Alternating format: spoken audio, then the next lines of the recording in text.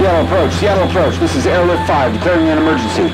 We are ditching 6 nautical miles due west of Neptune Beach. 5 souls on board, complete engine failure. Repeat, ditching 6 nautical miles due west of Neptune Beach. Seattle approach, Airlift 5 declaring an emergency. Ditch, ditch, ditch. Crew, brace for impact.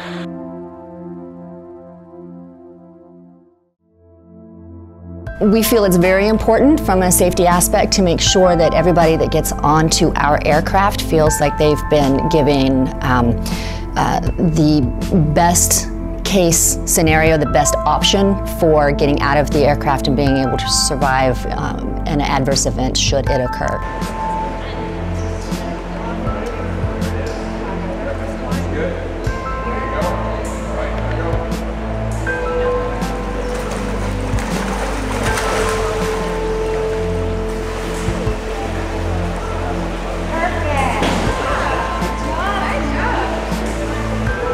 None of us, none of us want to find ourselves in the water upside down in anything, um, much less it being our aircraft and our place of employment.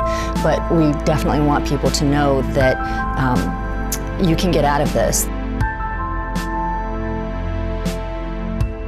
None of us like to do, do, this training, but we're always glad when we when we do do it.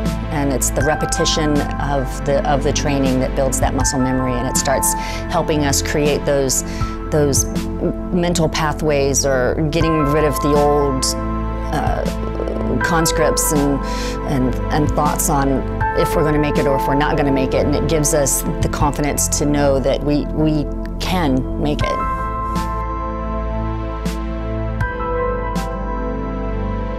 We're all in this together, and so we can take this baby steps. There's ways that we can do this, we can talk about it, we can walk through it. What I want people to do though is just, I don't want them to go, you know what, uh, it's, I'm, I'm not gonna do it, I'm gonna take my chances. Um, I, I, want people to walk away with the knowledge and the skill um, that that we're going to get there. You know, we can go baby steps. We can go into the water, and if you don't like getting your head into the water, well, we're in a four-foot pool, and so you just dunk. And it's just, let's, let's create some new, you know, little, little pathways there in our brain so that we know that we can get from point A to point B.